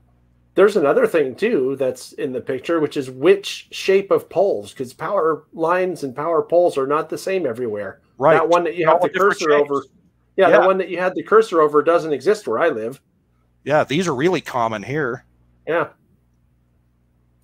Yeah. Also look at the look at the parking lot in that other picture. Remember I was talking about how streets and parking lots never look perfect? That's what I'm talking about. See how faded all that stuff is and cracks everywhere? I mean, So don't make up out of your head how to put cracks in a parking lot. Use a photo and do them from that. That way they're guaranteed to look right. Look where the oil stains are. yep. But you know, other stuff like um, unloading platforms for this is some sort of chemical industry. I think they they're it's food grade stuff, but here's where they're unloading trucks. The coloration and arrangement of uh, unloading things for tank cars, slats in a fence here, Right. all the signs and crap that are thrown onto this fence. You could easily print these off on a color printer and add these to your model fence Yep. right? The speed limit sign, the bump sign, the warning thing. Tile grout easy to manipulate when making road crossings? Yes, it is. It, you can work if you can work with plaster, you can work with tile grout. It's pretty much the same. If you mix it up uh, relatively thick, it goes on just like plaster, and you can manipulate it. You can carve into it later. It's great for carving into later because it's the same color all the way through. Here's something else on the picture I'm noticing. On the left side, you see those bumper deals for Yep. cars so the cars don't run in? Look how they're not pure yellow. They're Right. faded, right? They're faded, they're scraped, they're scratched, they're they have little squares of crap on them. I don't know what those are, but uh, Yeah, somebody else, They're just bollards made out of uh, metal pipe that are filled with concrete. right? They're But- easy to make from styrene rod. Yeah, my point though is that I've seen stuff like that on layouts where the person just paints it yellow and it's pure yellow. It's not faded. It's just yellow, and it's like it. Unless I guess it could be that it just got painted on the layout Yeah, because those do are they are new at some point, but I've They never. I've never seen them in real life looking like they were just painted. Is all I'm saying. Oh, I have. But you know what? If you have a few that are painted brand new and a few that look really bad like this, that helps make the new ones look plausible. sure. Uh, Sydney posted on there, do I have a blog or website? The only blog that I would maintain is the one on Model Railroad Hobbyist. So mrhmag.com. And then just search for my name and it brings it up. Yeah, somebody else was asking if if these photos are available online, and the short answer is, of course they are. Go on any map site and go to oh, Street View, and you will find the same kind of photos everywhere. You can take these photos yourself, just driving around somewhere. People might think you're weird, but I've got a, I've got yeah, because all those are photos of mine. I've got a folder of street view photos and street views of of industries. And I'll share these for you. Because you know, if you have a pile of these things around, you know, help these help with your model work so readily that um and I just take a screen capture and then print the screen capture. Mm-hmm. And here. I could imagine that some people could even laminate that kind of stuff onto a, a piece of uh, what's that uh, foam back foam Yeah, board foam stuff, board. and Yeah. you can even use that as a backdrop in a city scene or something, right? Yep. So, screen capture of a chemical business. Um, what color is everything painted? What's on the fence? What do the warning signs look like? What does the pavement pattern look like? Right. Pipes on the edge of a building, air conditioning. Can see this is, sorry, you can see this is straight off of Google Maps. I see the street view down in the bottom corner. So yeah, you can get pictures of all this stuff easily. Someone's Yeah. done all the work already. Right. So look at look at all the modeling ideas you can get from here. So some uh, BLMA or Walthers jersey barriers, some you know Walthers or uh, dimensional modeling concepts or ITLA or whoever's roof stuff, some Central Valley railing parts, Pikestuff, walls, you know, Walthers electrical box over here power pole from whoever. You know, if you if once you have the parts around, you can look at a building like this and how do I model that? And you can just go into your pile of parts and start picking things out and use them. You know, random sidewalk through the middle of a parking area that's dirt, I like how that side of that building was painted two different colors. right? You see that? like, what's up with that? You know, well, there's a vent cut into the wall here, so it looks like they probably messed up this corner of the building and had to put something back over the top of it, th- throw their vent onto it. Yeah. there's a sign that was developed from uh, Street View. Like there's a sign on the side of a building, so I just cleaned that up because that's an industry that I'm working on. I, I think we might be getting an excuse to do another program, Rob, if you're ever interested. People want to see more of your layout. Yeah, sure. But, you know, how, how easy is it to go on Street View and start pulling down photos like this to use for modeling inspiration? Yeah. That's really the point, isn't it? I mean, you just have to be creative and think about it for a second and you'll come up with these ideas, I think. Yeah, don't do it out of your head. Find the photos, work from the photos. Because you can make plausible. Look, look, at how great this scene is here with uh, the Hayes bumper over here and the pile of dirt on the building on the other side of the track there. Even something as simple as a knocked over street cone. See right? next to the pickup? right. and one on top of the yeah, wood. then somebody throws it onto the top of tie pot, the tie pile right here. And the, the the light pole it's at a little bit of a funky angle. The antennas and uh, power feeds and the hydrant, the the you know the water hookup here on the front of the building or if you're back that? in my fallout shelter signs, stuff like that. How about that staircase coming out of that building? That's kind of cool. That staircase is cool. Look at the the, the mid-century modern stuff. Okay, that no, maybe nobody makes that, but I can use this photo and fabricate the thing and solder up some wire. Looks like a little uh, awning over the door. That's interesting too. Yeah, that little awning over the door is pretty cool too. And you know, just like for what we talked about today, stack up some styrene and make an awning.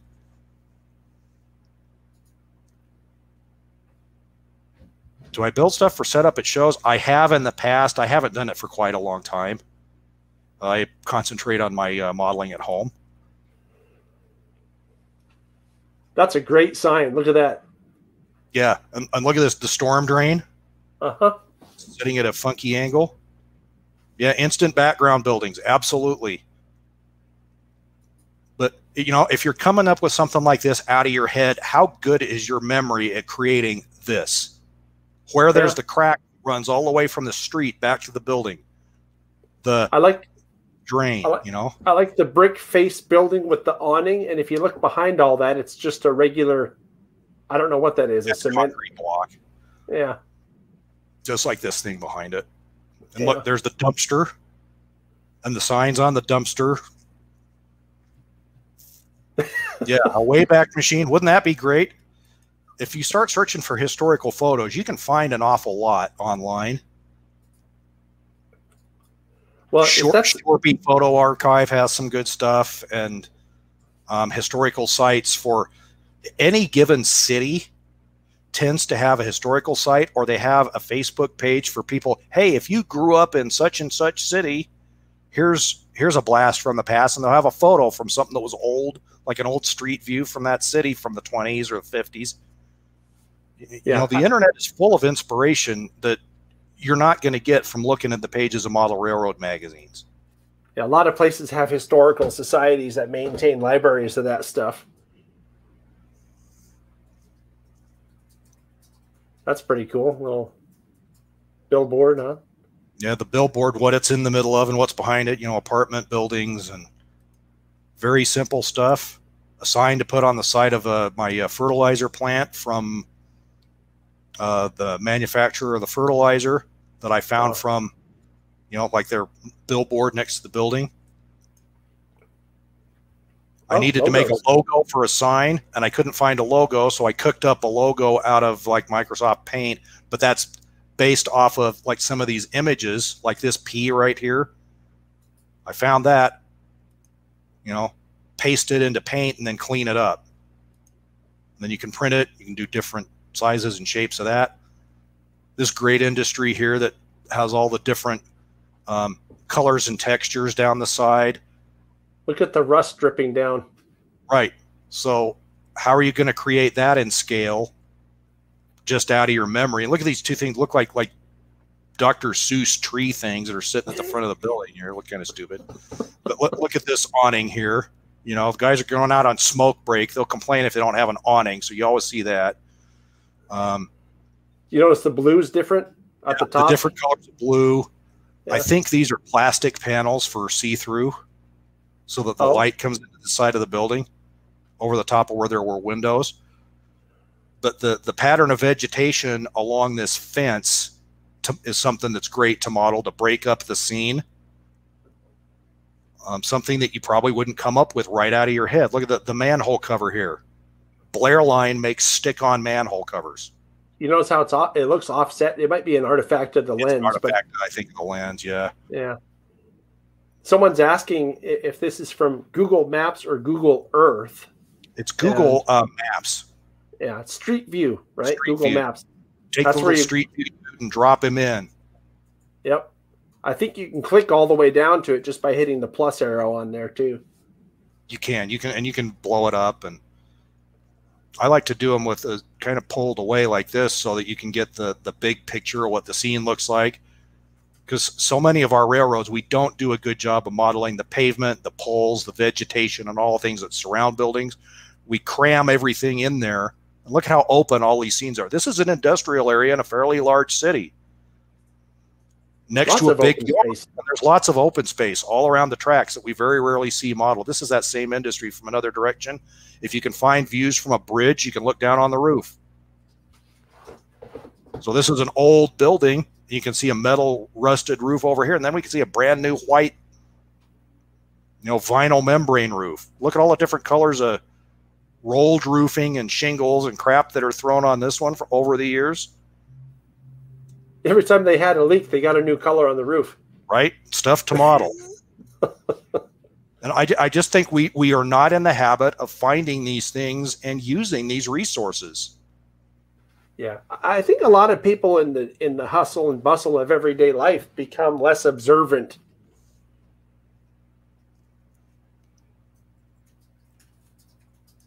Sounds Yeah. like an excuse, but I think it's true.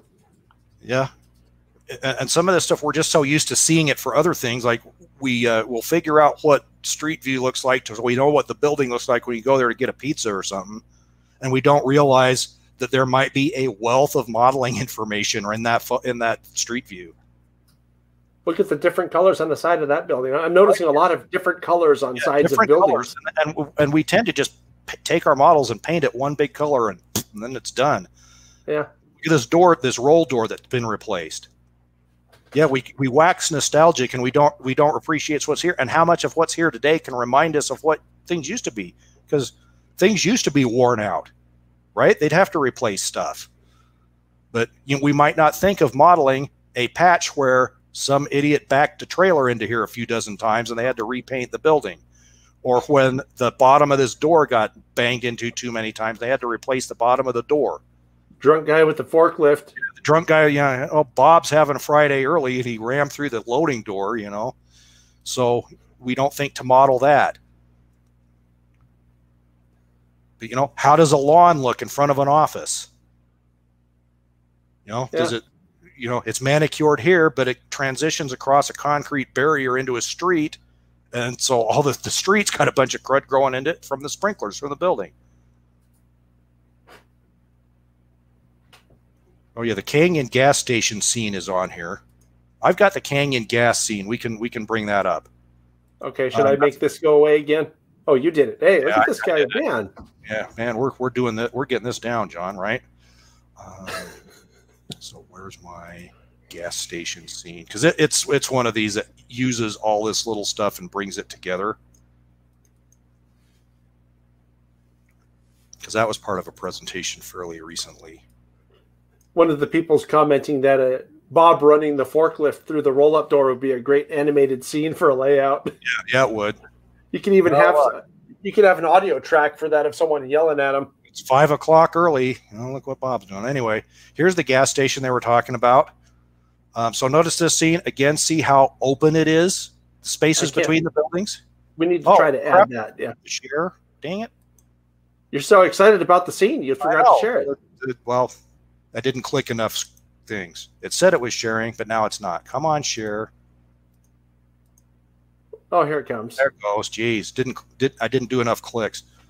So open Oh, yeah. space between all the scenes or the buildings in the scene.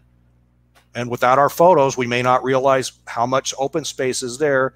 Little segment of sidewalk in front of here, segment of sidewalks around this building, um, arrangements of pot machines. Before Um, you, yeah, before you uh, scroll away from this, I want to say something about it. So finish your description, but don't click away yet. Okay. So we've got the uh, the biker guys that are hanging out here. Somebody's filling up with gas. Uh, there's the ice machine. There's the old style trash cans. There's a dumpster back here. Know, the sketchy guy that works at the store. He's got his trailer that he's living at out back. Um, the the depot next door. You know, don't overcrowd the parking lots. Don't put too much in there. Our speed limit sign that's stuck directly onto the backdrop so it doesn't cast a shadow that makes the scene look odd. That's what I was going to say. Look at the backdrop and look at the road. And where does the road start and the backdrop end? And I took a picture of this very scene because I was so impressed with how good the road looks going into the background there because it's hard to see the difference. How do you match the paint like that? I mean, that's really the painted the same color. Yeah, that's the paint and the tile grout are painted at the same time. Right, that's the trick though, because I've seen backdrops and roads that go off into the backdrop that I don't know what they were thinking because they're different colors, and it's like, okay, that doesn't look right. Yeah, this is tile grout, but it's painted. So when I Yeah. did the backdrop, I just did, and and when I drew the the tar patches and stuff, I kept drawing the tar patches into the backdrop, so it's all done at the same time. Yeah, and the sides of the road in the foreground here also look very plausible. Yeah. They're And- not and the where do you think that's from? Look at those street view photos, right? One side has grass, the other side doesn't, and you can see that there's a. I mean, that's yeah, little details like that really do add a lot of plausibility.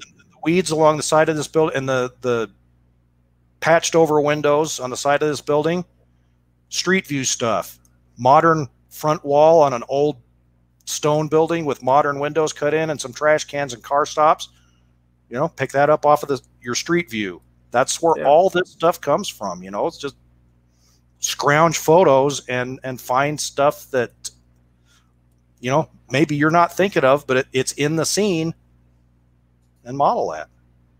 Do I do all that painting? Yes. That's one of the fun parts of the hobby for me is doing, you know, the backdrops and all that, tying all the scene together.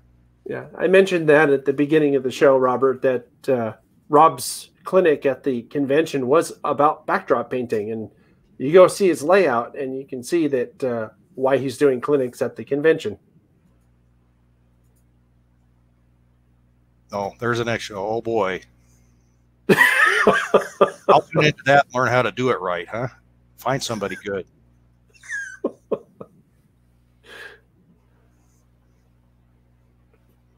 Yeah, excellent.